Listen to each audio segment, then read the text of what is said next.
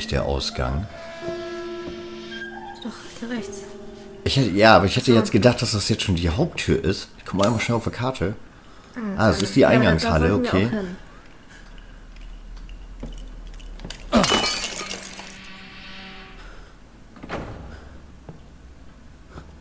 All hail Caesar.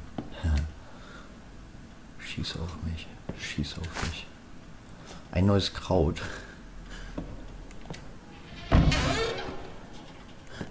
Mir macht das ja auch immer, äh. Achso.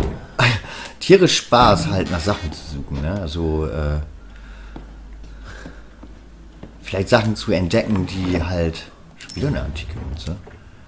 Die andere halt nicht. Ich kann ja schon wieder äh, zurück zu Box eigentlich. Weil wir schon nur noch einen Inventarplatz haben. Ah Ja, ich gehe mal dran.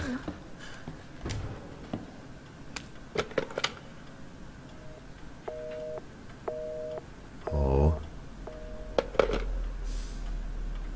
Oh, ich traue mich schon dann nicht, mich umzudrehen, ey. Kann ja auch einer von denen sein, ne? Alter, Ich renn- da ist ein Schatten, das da jetzt ein. Erstmal wieder schnell zur Box. Ach, ich habe auch mal Angst, wenn ich dann zurücklaufe, dass da wieder irgendwas passiert. Ne? Man ist ja einfach nicht sicher. Okay. Hätte ja sein können, dass es vielleicht irgendwas ist. Das mit der Box mag recht nervig sein, aber wie gesagt, die Inventarplätze sind knapp. Jetzt habe ich das übrigens auch mal mit den Pfeilen geschnallt. Das habe ich eben die ganze Zeit nicht geschnallt, deswegen bin ich mal runtergegangen. Also wenn man wohl mehrere Sachen von einem hat, dann sind die drei Pfeile, dass alles rüber geht und ein Pfeil einzeln. Ja, wofür sind die Münzen? Man weiß es nicht. Vielleicht ist es am Ende, wenn man es durchgespielt hat, sich irgendwelche Sachen kaufen kann.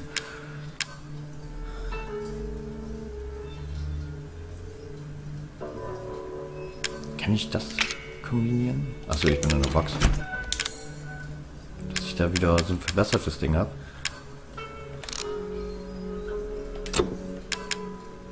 Einbaubrennerkraft. Okay.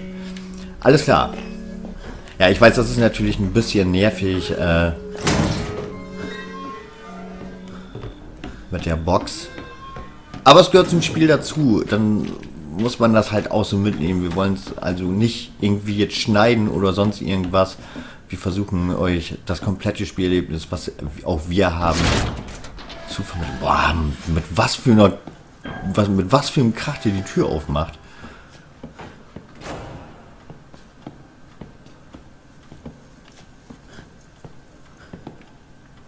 Das ist alles schön designt. Auch die Bilder und oh, ich kann das sogar angucken. Die Arkli-Berge. 7. Juli 91. Sollte man vielleicht auch mehr äh, Gewicht drauflegen.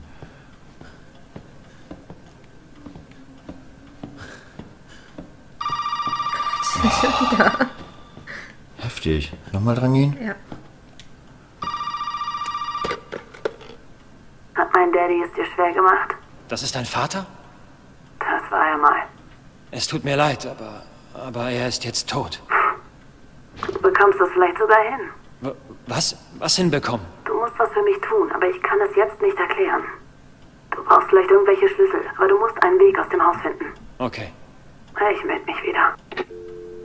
Wow, Okay. das ist der Vater. Äh, das, man muss ja jetzt auch mal eben einfach eine Vermutung ausstellen. Nur weil diese Person uns scheinbar hilft, muss sie uns ja nicht unbedingt helfen, sondern kann natürlich auch aus eigenen... Ah. Okay, aus eigenen Interessen handeln. Das werden wir natürlich irgendwann herausfinden. Und jetzt gibt es was zu lesen. In zwei Jahren mehr als 20 Personen vermisst. Captain Howell von der Staatspolizei erklärte gegenüber Journalisten, dass eine Suche nach Helen Metcalf eingeleitet wurde. Eine College-Studentin aus North Carolina, die durch Louisiana reiste. Von Miss Metcalf.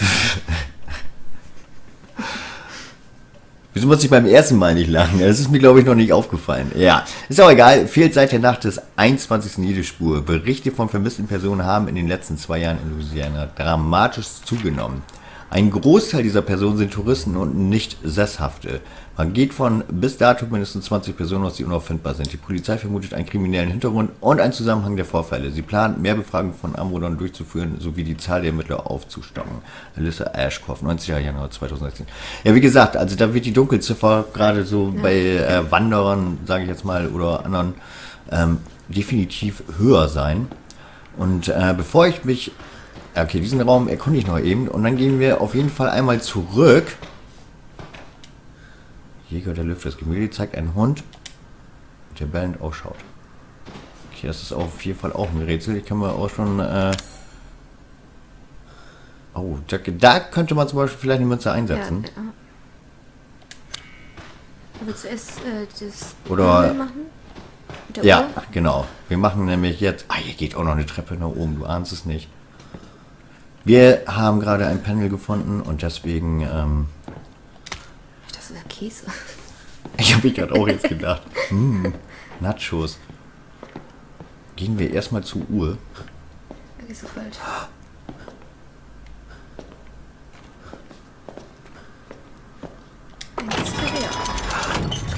Scheiße. Oh nein. Und ich habe gerade noch gedacht. War das eine Falle? Ja, die Tür ist zu, ne? Kannst du nicht wieder aufmachen? Nee. Ich habe gerade noch gedacht, gehe ich jetzt erst Uhr oder sammle das Ding ein? Ah, Kannst du das okay, drauflegen? okay, Ja. okay, okay. Ich dachte gerade schon, ey. Jetzt ist die Frage, kann ich doch was anderes drauflegen? das passiert Nee. nicht. ey.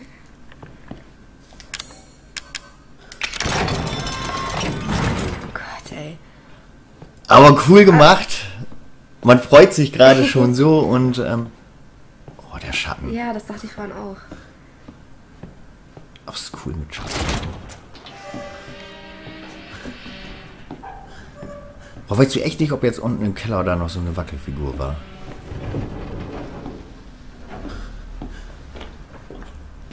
Wäre natürlich geil, wenn man jetzt gerade im ersten Durchgang schon möglichst viel findet. Oder soll ich sonst gleich nochmal einfach durch den Keller warten? Ich meine, das war ja jetzt nicht so ein riesiger, langer Weg.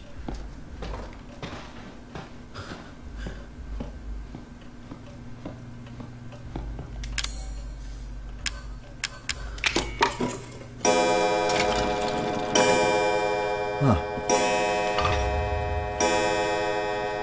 Okay, den denke ich mal, äh, braucht man sogar, um äh, das Gebäude zu verlassen. Nee, ich, warte, ich glaube, ich habe gerade was gesehen, wo das hinpassen könnte. In den anderen Raum wieder.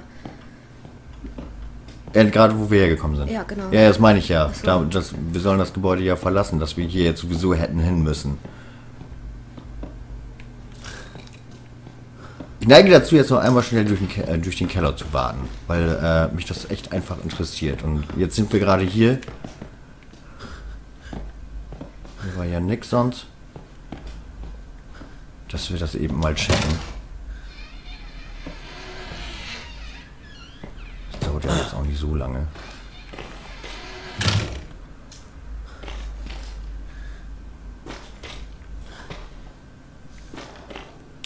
Weil, ähm, okay, wir wissen nicht, äh, für was diese Puppen sind. Kann auch sein, dass es einfach nur äh, für eine Trophäe ist. Kann aber ja natürlich auch sein, dass das irgendwie was richtig Cooles freischaltet. Du dagegen schießen? Ja. Ja, hatte ich vor. Geht auch nicht.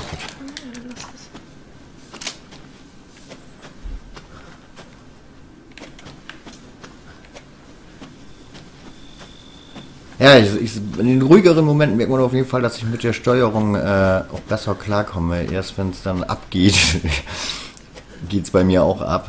Bin dann wieder panisch. Das wird mir echt oft vorgehalten. So meine Kumpels sagen, die dann völlig gechillt spielen und äh, sich nicht verdrücken. Ist, weil das ist natürlich, das habe ich glaube ich bei Last of Us auch gehabt, dass ich einfach äh, zwischendurch scheißen oft aus Versehen Leben verschwendet habe.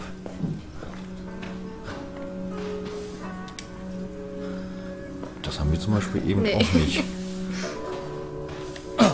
Ein Zocken, ne? Und hier ist ein Bügeleisen. Lieben Gruß an dich, Julia. die uns heute ein Bügeleis vorbeigebracht hat, damit ähm, ich zum Let's Play meine Shirts bügeln kann. Ja, aber das war's hier. Ne? Hier sind doch keine Kisten, wo man noch kaputt machen kann. Was nochmal zur Kiste? Äh, was habe ich dabei? Hier ist schon wieder alles voll, ne? Krass.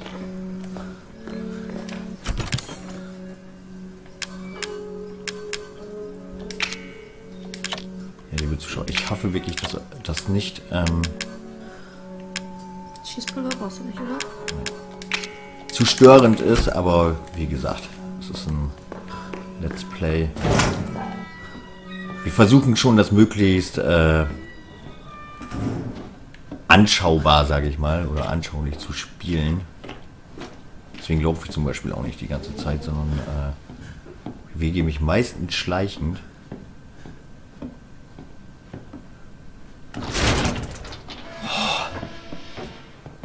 Okay, den Raum hatten wir und äh, da wird das Ding auch eingefügt. Deswegen äh, kommt nämlich. Obwohl, nee, das war. Nee, war das- Ach, eine Münze wollte ich mitnehmen. Ich bin auch ein Idiot. Kann nicht wahr sein. Warte, äh, Soll ich noch eine Münze holen eben? Soll ich es versuchen? ja. Sorry, sorry, sorry. Äh, passt aber ja zu dem, dass wir gerade gesagt haben, wir wollen es möglichst anschaulich spielen und jetzt direkt danach müssen wir wieder zurück. Aber auf jeden Fall austesten. Wer weiß, was man findet. Und ähm, wir sind ja auch erpicht darauf, irgendwelche coolen Sachen zu finden, um das natürlich äh, hochzuladen. Oh. Danke dir, Baby. Ja, nehme ich eine mit, ne? Ja. Wir, wir wissen echt überhaupt nicht um den Sinn. Wie gesagt, ich habe hab mich, mag man mir vielleicht vorwerfen, weil andere YouTuber bereiten sich halt wirklich vor und holen sich Infos ein. Ich habe es wirklich nicht gemacht aus dem Grund, weil ich absolut nicht gespoilert werden wollte. Und ähm, wenn mir einer ein Video oder, oder wenn ich ein Video angeguckt hätte, wo einer vielleicht die Münzen gezeigt hätte, dann hätte der vielleicht schon andere Sachen aber auch wieder mit gespoilert und äh, das Risiko wollte ich einfach nicht eingehen.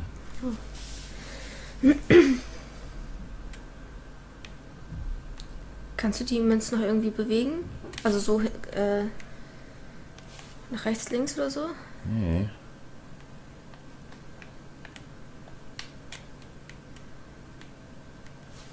Das aber, was war da drauf? Ein Adler, ne? Auf der Münze? Ich weiß es gar nicht. Aber die antiken Münzen scheinen ja gleich zu sein. Also ich verstehe auch nicht, also ich kann es so noch drehen. Kannst du das? Aber ich kann es halt nicht selber auf dem Bild bewegen. Mann, ey, ich bin auch ich, ein Bewegungslegastheniker hoch 10. So, dann drehe ich das Ding jetzt nochmal so.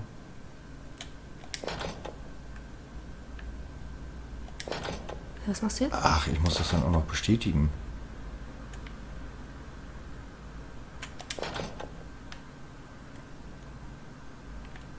Ich versuche mal einmal ein paar andere Tasten eben. Ah, jetzt habe ich abbrechen gedrückt, ich Idiot. Wäre halt ein netter Versuch.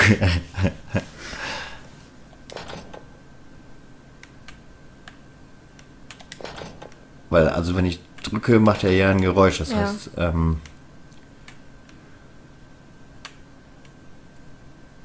Also mit der Münze liegen wir scheinbar nicht ganz falsch, aber äh, wissen jetzt trotzdem nicht, was wir da machen müssen.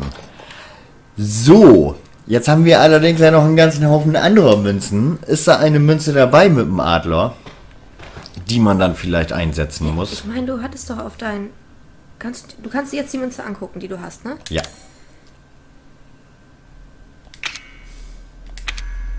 Siehst du, da ist ein Adler drauf. Das ist ein Ach nee, ein Pelikan. Pelikan, okay. Die drei Hundeköpfe bekommen und die Türen öffnen, die Flinch bekommen. Also man muss dieses Ding auch noch. Ich meine, es kann ja auch sein, dass wir natürlich gleich noch eine Münze finden oder so. Ich weiß es nicht. Wir könnten allerdings jetzt auch noch einmal zurück zur Box und gucken, ob wir was mit dem Adler haben. Warte, jetzt geh mal erst rechts. Hier war irgendwo ein Bild, wo ich meine, wo du den Hundekopf ein. Nee, einsetzen konntest. Hier ist auf jeden Fall ein Schloss. Ich meine, vielleicht finden, findet man ja gleich auch noch die passende Münze. Aber. ähm, ja, komm, wir gucken eben, dann wissen wir sicher, was, was bringt es, wenn wir jetzt sagen, äh, aufgrund dessen, dass es sich ja auch anschaubar sein soll, was bringt es, wenn ähm, wir das jetzt außer Acht lassen und das vielleicht ein cooles Secret ist. Und äh, ich denke mal, der ein oder andere Zuschauer möchte vielleicht ja auch wissen, ob es denn vielleicht so ist, eine Verteidigungsnutze. Jetzt kann man aber natürlich auch gar nicht erkennen, was da drauf ist. Deswegen glaube ich schon bald, ähm, Sonst beide antike Münzen sind. Ist ja, die werden gleich sein. Sonst wären die nicht auf einem Platz.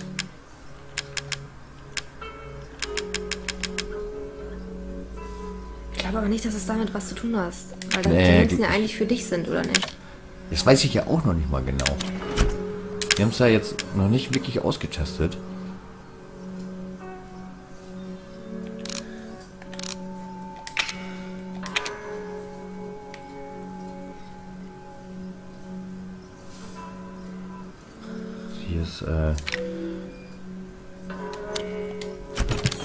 Es ist auch ein Ziel, die Flinte zu bekommen. Das war jetzt die Angriffmünze. Ich nehme mal jetzt eben einfach alle gucken einmal eben drauf. Ich denke mal, es gibt dann bestimmt vielleicht auch noch mehr Münzen, die man ähm, nutzen kann.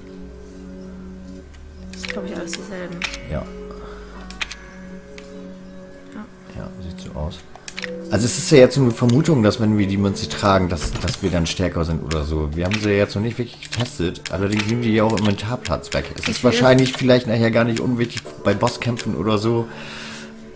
Ich würde jetzt trotzdem eine antike Münze mitnehmen. Vielleicht haben wir da gleich irgendwie was falsch oder so, dass wir die trotzdem nochmal brauchen.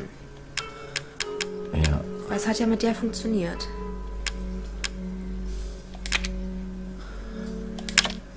Vielleicht braucht man auch mehrere.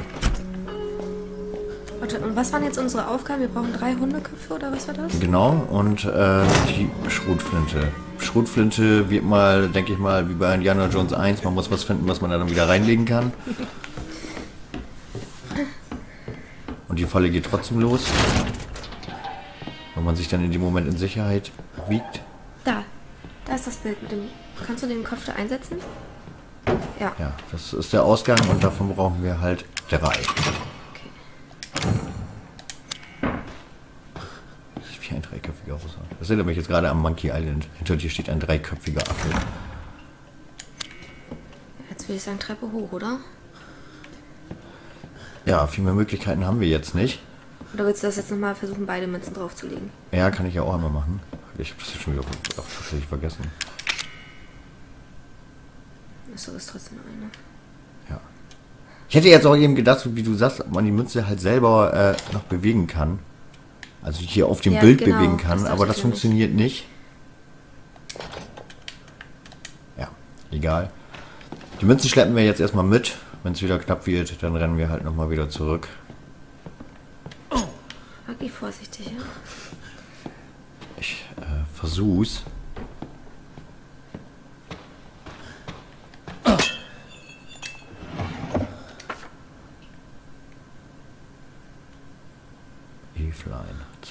2014. So, okay. Okay, okay. Also Bilder darf man auch gar nicht außer Acht lassen. Ist bestimmt auch noch mal irgendwo was hinter dem Bild versteckt. Das sind ganz schön viele Türen, die verschlossen sind.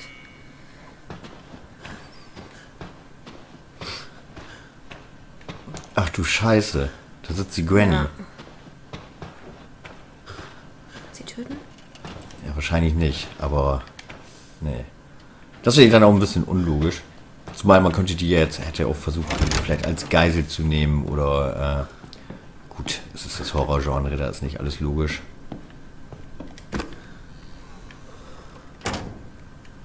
Vielleicht ist es, vielleicht ist es das Hobby, das ist Hobby des Vaters, ja.